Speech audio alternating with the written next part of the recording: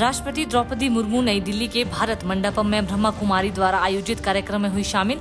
कहा, ब्रह्मा कुमारी संस्थान महिलाओं द्वारा संचालित सबसे बड़ा संस्थान।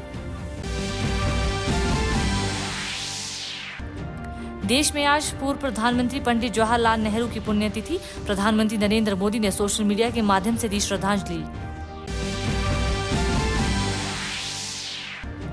वित्त वर्ष 2024-25 की चौथी तिमाही में देश की आर्थिक वृद्धि दर 6.1 से 6.7 प्रतिशत रहने की उम्मीद।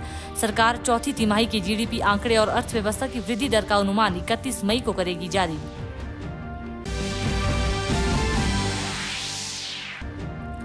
पश्चिम बंगाल व कोलकाता में रेमल चक्रवात का कहर। चक्रवात के कारण आसपास के कई क्षेत्र हुए जलमग्न। राहत कार्य में जुटी एनडीआरएफ और एसडीआरएफ की टीमें। अमेरिका ने चीन से आने वाले 200 से अधिक उत्पादों पर लगाया अतिरिक्त शुल्क। इसमें चीनी इलेक्ट्रॉनिक वाहनों पर 100, सेमीकंडक्टर पर 50 प्रतिशत शुल्क है शामिल।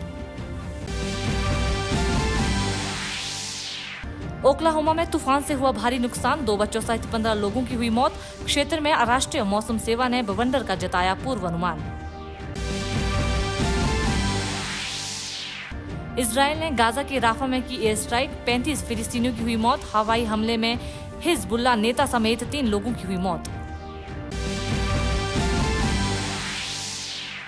दीपा कर्माकर ने व्यक्तिगत वॉल्ट स्पर्धा में जीता स्वर्ण पदक।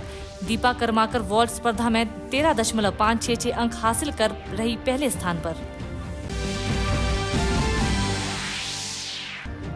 ओटीटी प्लेटफॉर्म पर 28 मई को रिलीज़ होगी पंचायत थ्री। सीक्वल को लेकर दर्शकों में देखा जा रहा उत्साह।